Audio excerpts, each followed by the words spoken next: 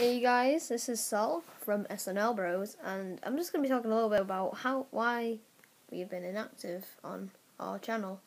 Um, so Lee from SNL, the L in SNL, um, on his iPad we have made a lot of challenge videos, and he just doesn't upload them. I don't know why. We've made loads like loads cinnamon challenges, sherbet challenge, spray challenge. We've made loads, and he just won't upload them. So um, thank Lee for that one.